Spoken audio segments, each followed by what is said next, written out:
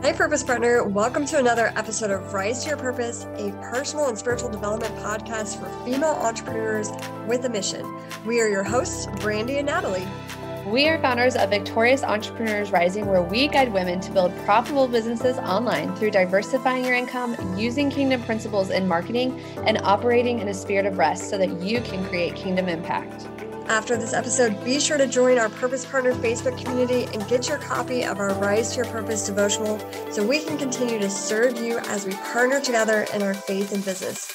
Let's dive into today's episode.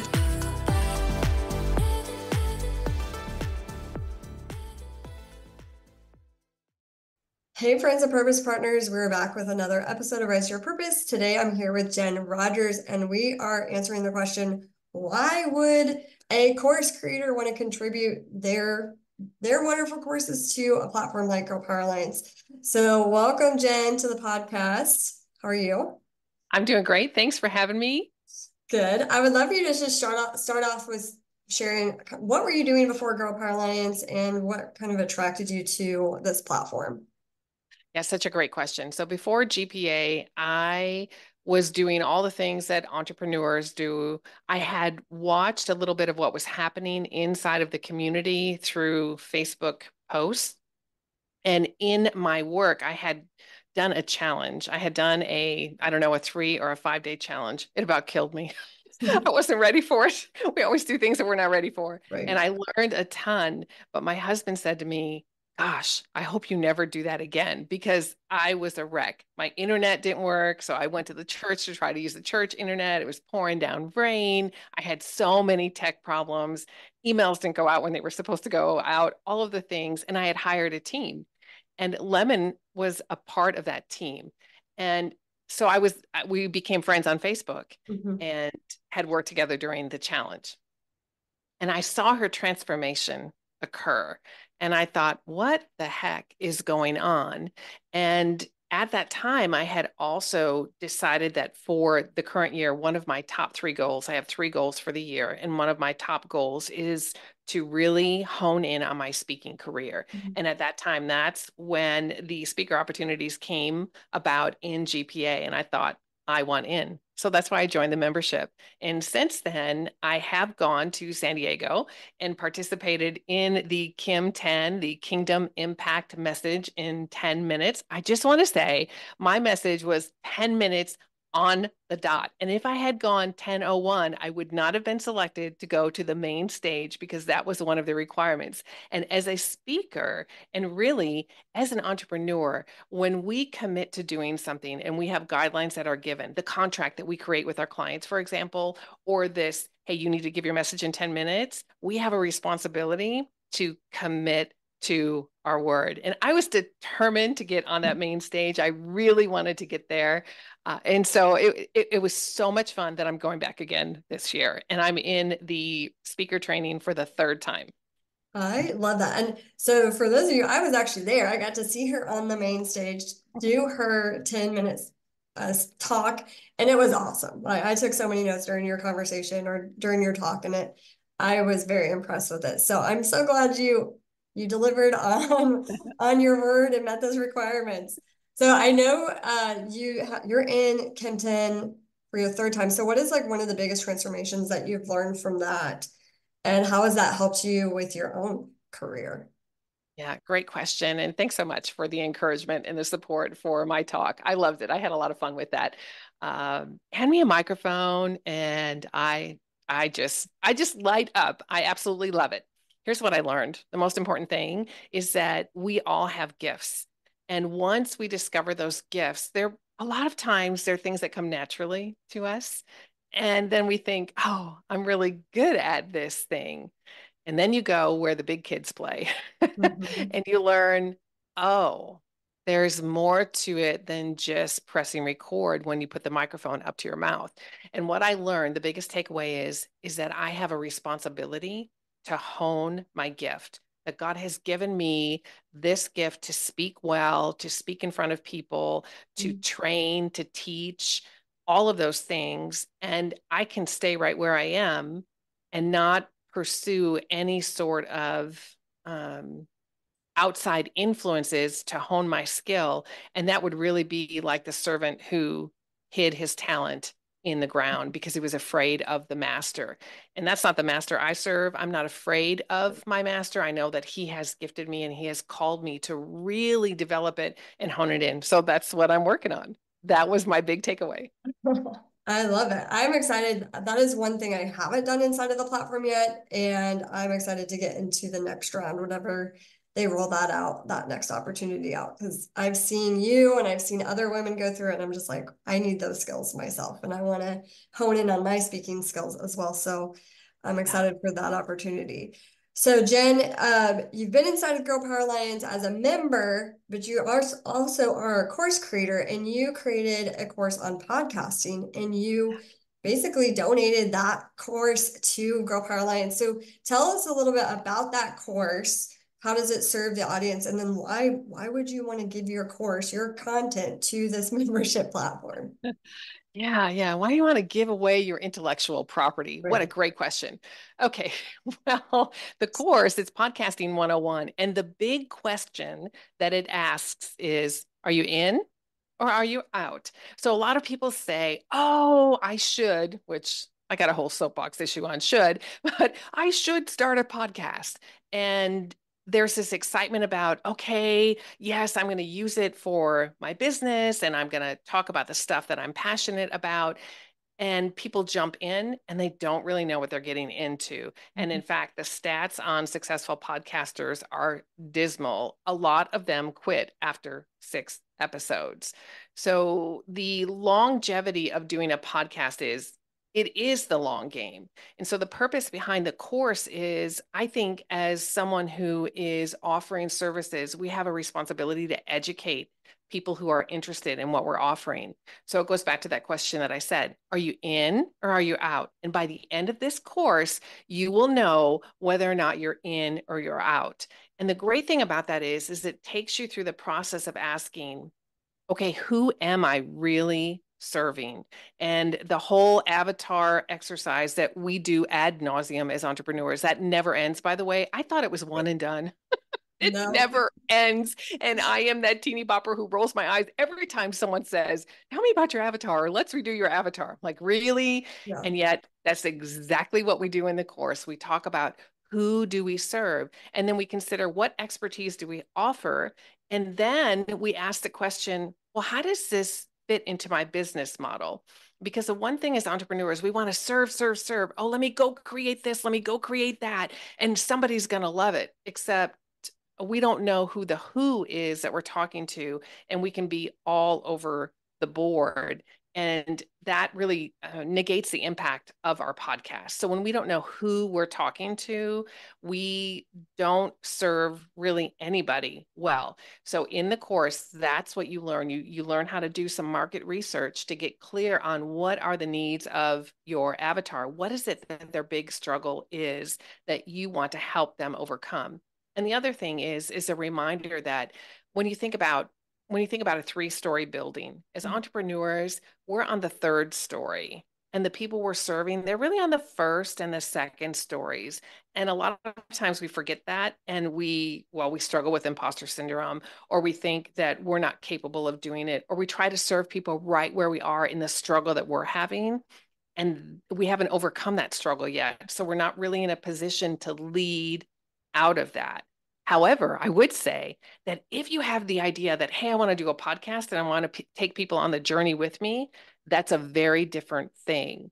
So you could do that. You could say, okay, look, I'm at six figures and I want to go to seven figures and I have no clue how to do that. But these are the steps that I that I'm going to take and I want to take you on the journey. Do you want to come with me?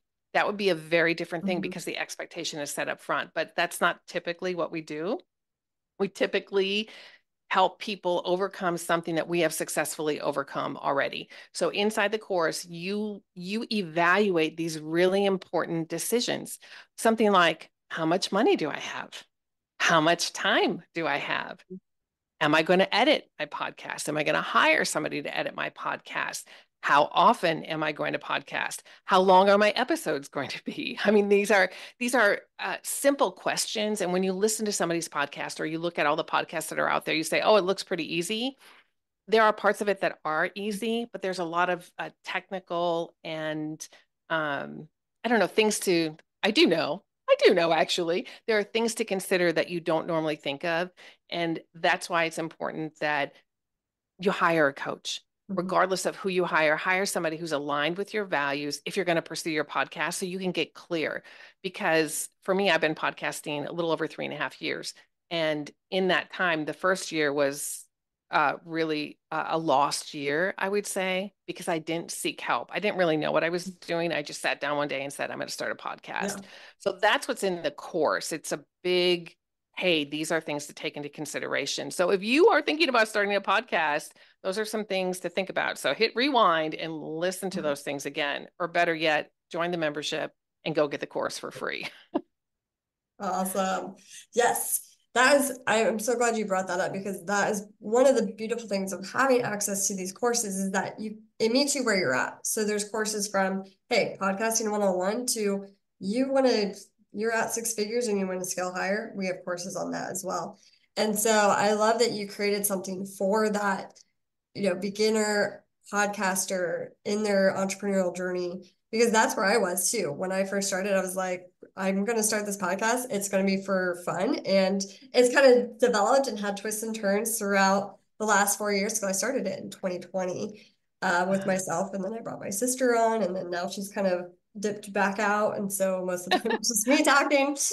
Um, uh-huh. But it's been really fun. And, and it would have been nice to have, they didn't really, there weren't really podcasting 101 courses back in 2020 or they were in my in my windshield of options when I was starting it. It was kind of like everybody jump in and figuring it out. And now I feel like it's become uh it's become such a podcasting has become such a a broader or bigger industry, if you will. I don't know how I want to word this, but like it's become so much more popular as a business strategy. And so I feel like now there there's the data, there's hey, we've messed up, we've done this, like, and now there are courses and there are entrepreneurs out there that are sharing this skill set with others. So I'm glad you are one of them, Jen, because I your course is awesome. I was on your accountability call that you did and for the members, and I I mean I even took away a little some nuggets here and then made me think about oh how do I want to move forward with my podcast. So I really appreciated your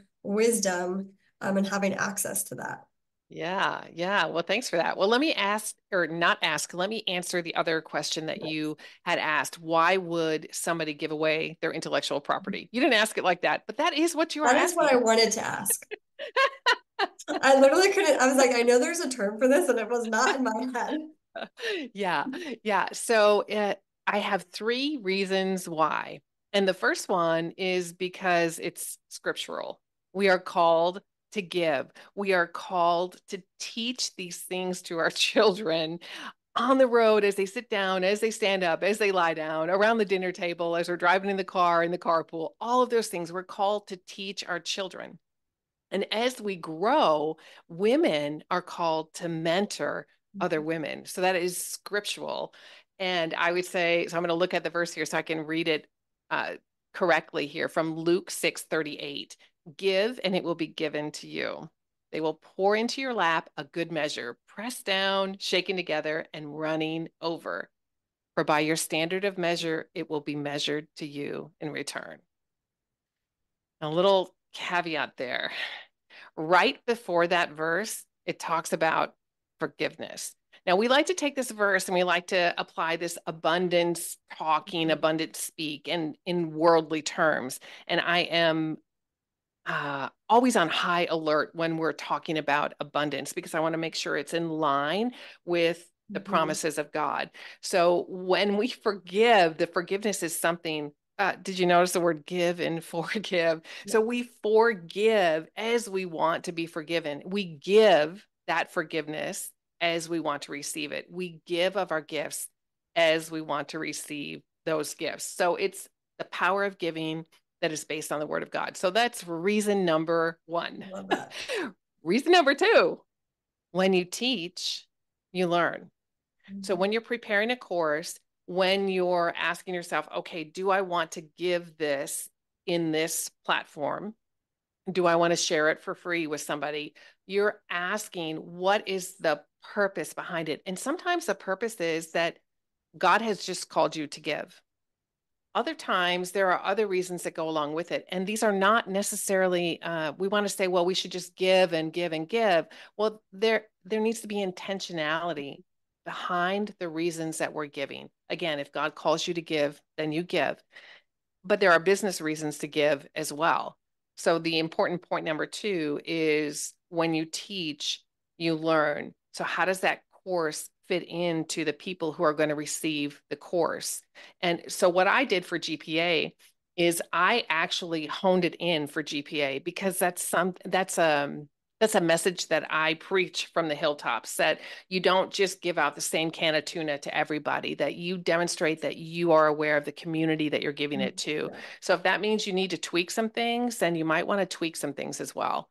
Um, and then the third reason, I mean, is very much a business reason. It's a partnership. And so it elevates your visibility and your growth. So I'm hoping that when people take podcasting 101, that they felt served, and that they felt loved and that the things that they weren't aware of before they're aware of now and that they recognize that they need a coach to help them move to the next step. And so that's what i do. Obviously uh, that's there's a reason behind creating a course to begin with. There was a need for a podcasting course. I love podcasting. I love teaching. So they all went mm-hmm. together.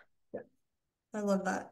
I think that is such a great yeah I love everything that you just said because, right, we are here not only to learn, but also here to scale and grow profitable businesses. And this is a great community to not only serve, but also to be served. And I think that, like you said, it's a partnership, it's a collaboration. And I know for me, as well as being a coach, like I've had a lot of referrals come out of this community while I'm also being poured into, or I'm pouring out serving in uh, different positions within inside the membership being like an RLA coach. And so yeah, like this is this is there's like business strategy and decisions that go into partnering with a membership platform like this. And it really does create that win-win for you and the people that you get to serve. And it's it really is a beautiful partnership. So I've I've received the same thing from you or that you've experienced as well. Yeah. Yeah, it's so good. And I also have gotten clients mm-hmm. because of the visibility that I've received inside the community because people they they get a taste of who you are and how you roll. And when people walk away, I want them to walk away knowing uh, she's going to have some fun. We're going to have some fun. Yeah. Uh, and we're going to work really hard and we're going to have a great outcome because we're going to have fun and we're going to work really hard. So it really is for me. I love when my clients succeed. So I just got done working with someone and her podcast within two weeks went to the top 10% in the world. Like, what? What? That is amazing. So exciting. And I, so I love that. So that's what I love doing. I love using the power of our voice. I think when mm-hmm. we recognize our voice has power, when we truly learn to love the voice that God has given us, that's how we can show up influentially. And that's how we show up our authentic selves. So I'm not, there's nothing scripted here. I mean, obviously, we prepared for the podcast and we knew the outcome that we wanted to get to, to be able to talk about why you would donate a course to a membership. So we, I know that we've covered that, but we've also talked about other things as well. We've shown up having some fun and really just being interested in what the other person has to say. So I think though all those things are really important um, to to show up and use your gifts. Going back to what I shared initially, that we have a responsibility to hone. So each podcast recording that I do, I learn something, whether mm-hmm. I'm a guest or whether I'm the host. I learn something, and I love that because I'm a lifelong learner. Yes, me too. That's another reason why I enjoy the GPA membership is because I can continue to learn and grow and hone my skills as well. And so I and I get to be connected with women like you, Jen, who are pouring out and giving your wisdom in in different areas of expertise. So I love it. as we wrap up today, Jen, is there any final thoughts that you want to share with the with the listeners today? Yes, I will share this. So I am in the middle at the time of recording this. I am in the middle of a pivot. And if you are in the middle of a pivot, I just want to say, I feel you, sister. it's so painful because you have one foot in, oh, this is who I was serving, how I was showing up. And now this is who I'm serving and how I'm showing up. And the example that I'll use in that is that I'm currently on hold on my podcast. So I podcasted for three and a half years, 220 some episodes. And I realized that I needed to take a break as I work on this pivot and rename the podcast yet again. it's time to simplify. And it's really interesting. That is going to be the name of the mm-hmm. podcast. Mm-hmm. And uh, it's really about using time management to be able to do all those things that God has given us to do. And yet, it's hard to let go of some of the things that we've experienced to move into the things that God is calling us to next. So if you're on the fence about a decision about where do I go, what do I do, I, I, just want to share this with you that it would be really great just snag a piece of paper right now. So if you're driving, you know, do this later. But if you're not driving, Swiffering or changing the baby's diaper, take out a sheet of paper and put a line down the middle and write down all the things that you are concerned about. If I let go, what am I concerned about without a filter? Okay, just write. And then on the right side of the paper, write down the things that you think will happen when you pursue this next calling. So if you're thinking about, am I going to join a membership mm-hmm. or am I going to start a podcast, for example? Or like me, am I going to rename and pivot and step back and take a little season of sowing seeds and really going back to my avatar, doing market research, mm-hmm. doing all of those things? how does that line up with my business plan? Where is God calling to me? Does this decision align with my values? So, wherever you are on the journey, whatever decision point you're in, it's really important that you take time to think and not with your phone, not by mm-hmm. Googling what other people are doing, but all on your own with your Heavenly Father. Sit there and really think about what do I do next, Lord? Will you give me discernment? Will you show me where to go next? And He's so gracious, He will. Maybe not on our timeline. I mean, I've talked to him about the timeline. I haven't liked the timeline sometimes, but uh, he's definitely as gracious to hear and to answer. Mm-hmm. Oh, I love that, Jen. Thank you so much for sharing. And it's so funny. I just did a series called The Messy Middle, which is on pivoting and kind of grieving, like saying no to things and goodbye to things that were so such a great um yeah i think we've all been there done that or are in the middle of it so i'm glad you brought that up um, all right. Thank you so much, Jen, for sharing with us today. And I'll, for all those of you listening, I'll have all of her details in the show notes if you want to follow her and connect with her more. Um, with that, thank you all for listening, and I hope you have an amazing day. Uh, thanks so much for having me. Thank you so much for listening to today's episode. We would love to hear from you. So please share your takeaways by tagging at Live Victorious over on Instagram and leave a review.